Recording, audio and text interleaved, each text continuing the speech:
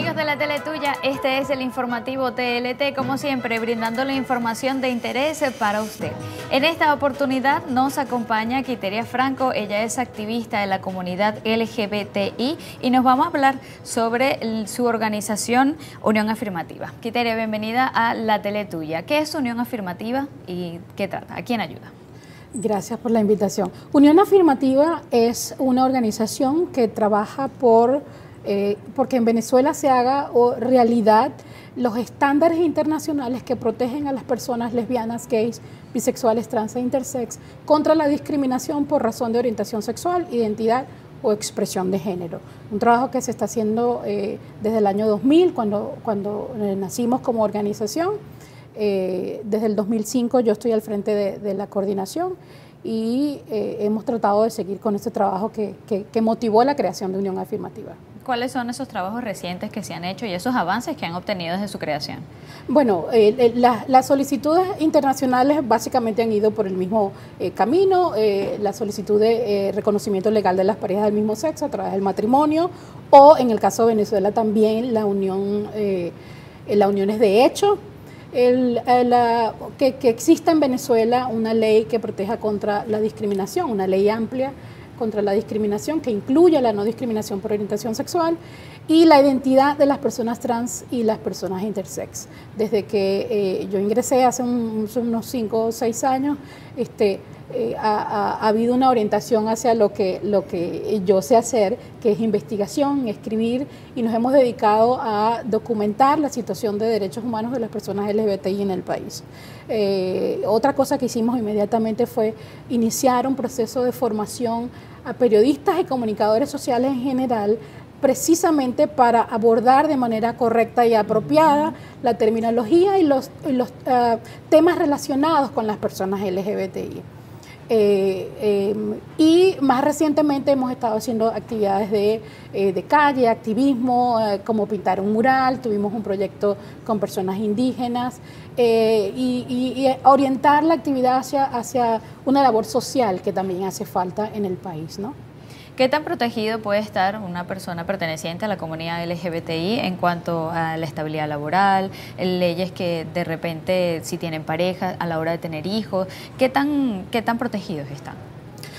Claro, a mí me, gustaría ser portadora de mejores, eh, mejores y positivas noticias. Lamentablemente en Venezuela no hemos avanzado muchísimo. Sigue pendiente eh, tener una ley que nos proteja contra la discriminación, aunque hay menciones en ciertas leyes, eh, se refieren únicamente a la protección y a la prohibición de discriminación. Sin embargo, eso no se ve reflejado en el día a día. Eh, no conocemos, por ejemplo, casos de discriminación en el lugar del trabajo, pero sabemos que existen. Eh, también hemos denunciado la ah, discriminación que se da en centros comerciales, en hoteles. Eh, eso está allí. lo que yo diría es, hace falta también que la gente se forme, conozca sus derechos y también conozca a dónde tiene que ir a denunciarlos. Porque eh, eso es lo que nos va a ayudar a crear precedentes y que de alguna manera la, cultura y nuestra sociedad vaya hacia un cambio positivo de aceptación e inclusión de las personas LGBTI eh, y, ser plenamente contribuyentes a el desarrollo de un país.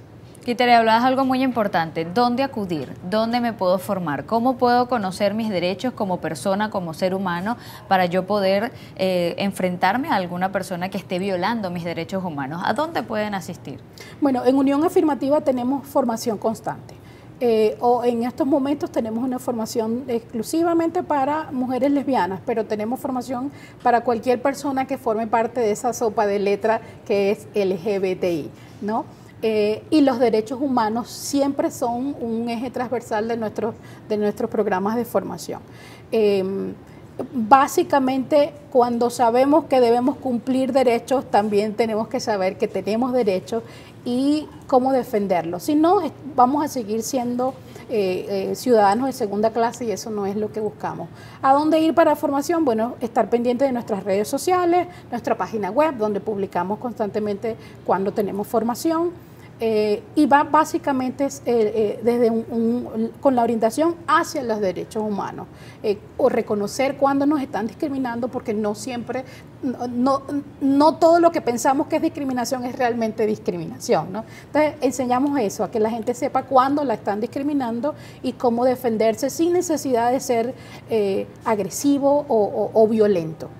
Quiteria, ¿puede soñar el venezolano eh, perteneciente o no a la comunidad o con familiares que pertenezcan a la comunidad, eh, con leyes, eh, matrimonio igualitario, con leyes que lo soporten laboralmente, que puedan incluir a sus parejas, a sus hijos dentro del seguro del trabajo. Esto ¿Se puede?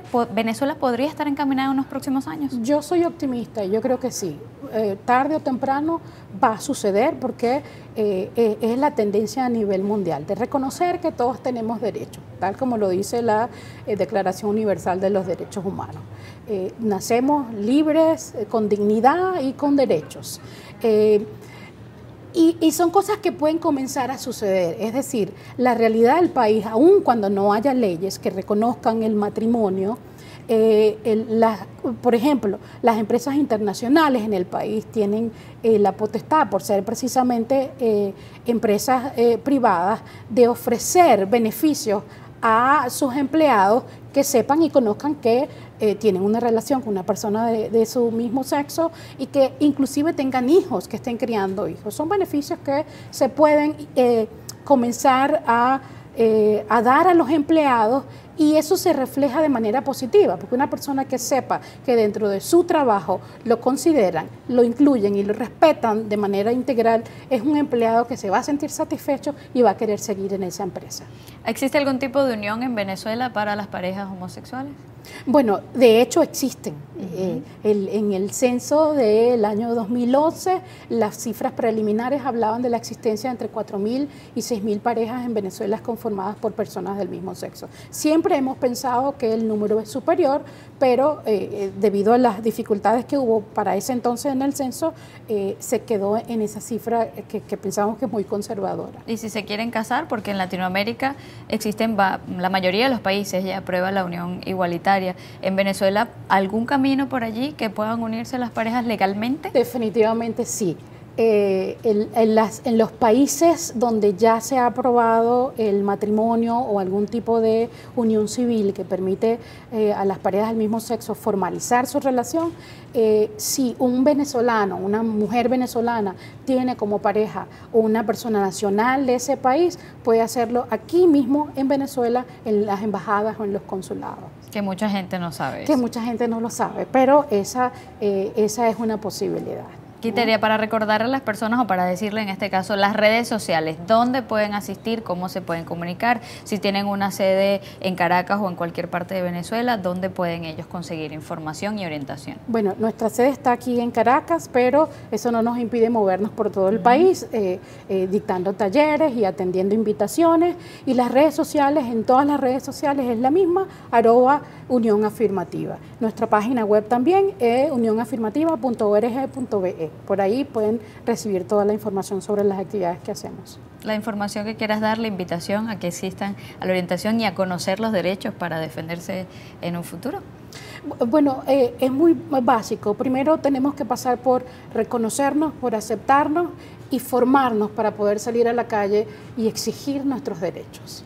Muchísimas gracias, Quiteria Franco, representante de Unión Afirmativa, el día de hoy hablando sobre la comunidad activa LGBTI. Nosotros en el informativo TLT, como siempre, dándoles a ustedes información importante. Recuerde seguir también nuestras redes sociales, arroba la teletuya.